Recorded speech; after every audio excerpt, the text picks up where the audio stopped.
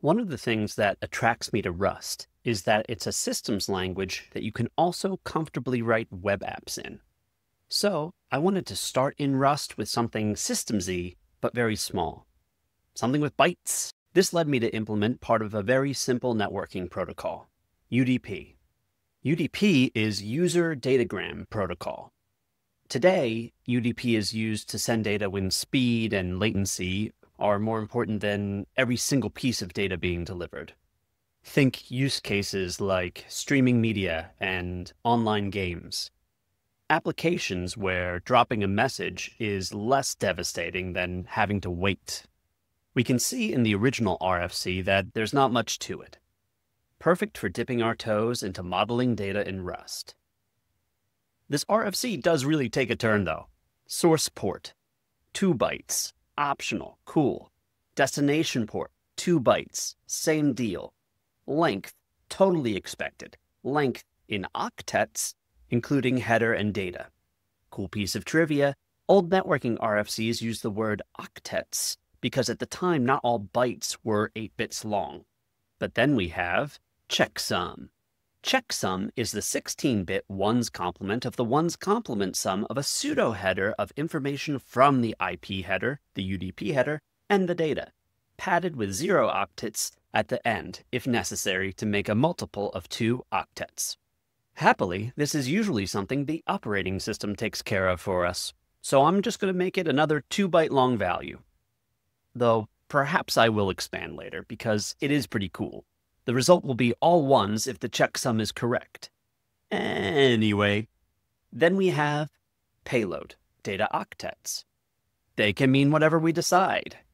What we're going to do is parse a collection of bytes into a collection of, hopefully, well-modeled fields. To describe the top-level element here, we will use a struct called UDP datagram. A struct, short for structure, is a way to keep related data under the same roof. It's a named collection of fields, which can each have their own type. Structs come in a couple different flavors in Rust, but the main one we are going to use is very similar to the struct in C and in a bunch of other languages. The fields for this are pretty clear. They're the ones defined in the RFC. But what types should they have? I think port should be a type in itself. Here we can use another kind of struct called a tuple struct. I can imagine port accumulating behavior and only being used in certain contexts.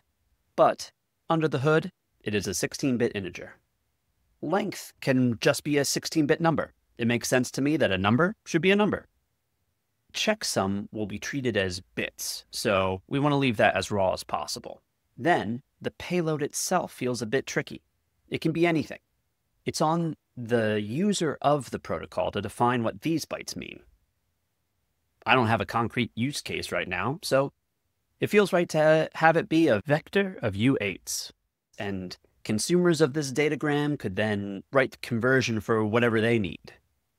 They're actually unlikely to need any of the other parts of the datagram.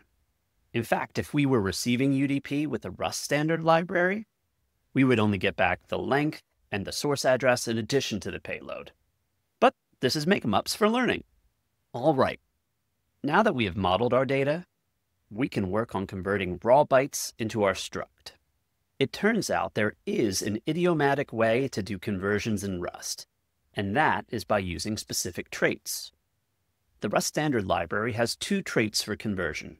From into, for infallible can't miss conversions, and try from and try into for conversions that may fail. Traits are how shared behavior is defined across different concrete types in Rust. To use a bunch of long words, it is polymorphism without inheritance. I guess if it looks like a duck and quacks like a duck, you don't care if it descended from the great Ur duck. You only care that it is a thing that can quack. We'll be using try from because UDP datagrams can become corrupted in transit, and we want to signal to other imaginary developers calling this code that this conversion will return a result enum. So they will have to handle the potential couldn't convert this error outcome.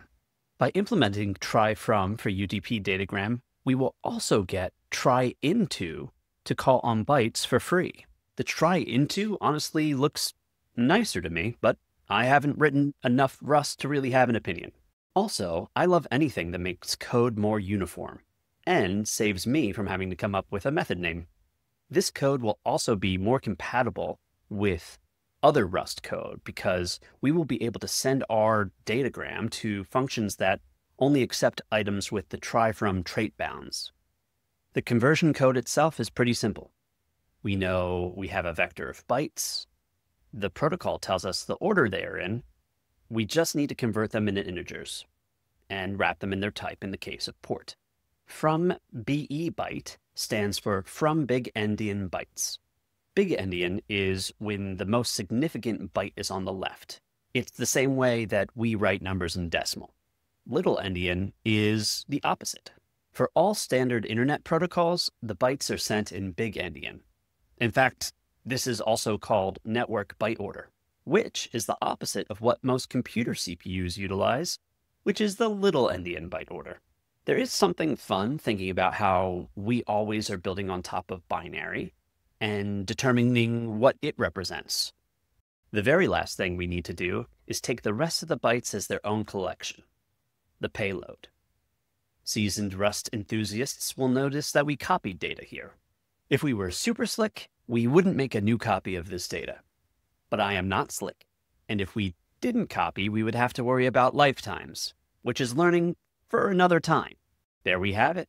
We can now go from bytes to UDP. In the description of this video, there is a link to the program I wrote with tests.